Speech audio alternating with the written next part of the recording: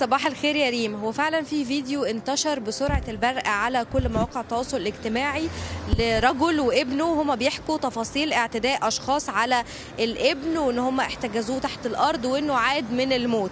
ووزارة الداخلية وضحت حقيقة القصة إن كان في مشاجرة حصلت في منطقة شبرا.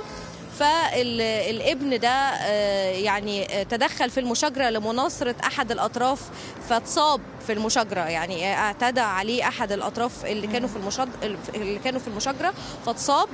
وتم اتخاذ ات- وتم اتخاذ الإجراءات القانونية وقتها ولكن اتفق والد الشاب المصاب ده آه، إنه ياخد تعويض مالي مقابل آه، يعني آه، الإصابة يعني أيوه. كتعويض عن الإصابة مم.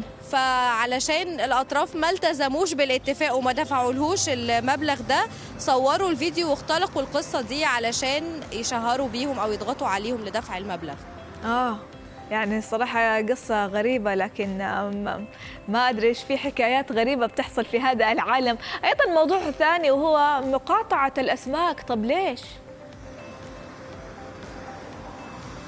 النهارده فعلا يا ريم اليوم التاسع لحمله مقاطعة الأسماك واللي بتشمل 15 محافظة. طبعا اكثرهم محافظات ساحلية زي اسكندرية وبورسعيد والسويس.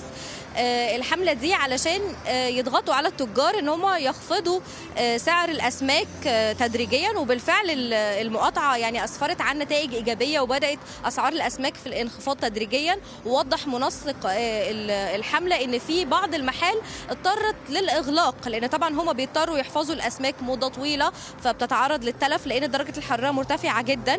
وكمان علشان حفظ الأسماك بيضطروهم إن هم يستخدموا بلوكات التلج طول الوقت فالإقبال الشديد على بلوكات التلج خلال العشر أيام اللي فاتوا آه، ضاعف ثمنها فبدات المحلات آه، يعني تخسر فبدأت إنها تغلق لحد ما المقاطعة تنتهي. دي طبعا التجار اللي بتعاند مع مع المستهلكين. نعم. لكن في تجار كتير بدأت إن هي تخفض آه، فعلا ثمن الأسماك. وبيقولوا إن. المقاطعة دي هتشمل بعد كده البيض واللحوم وكل السلع ال- يعني, يعني زاد شيء أن تكون كبير. نجحت في أنها تنقص الأسعار وترجعها زي ما كانت. وهذا شيء جميل. ندى حجازي من القاهرة. شكرا لوجودك معنا في هذا الصباح.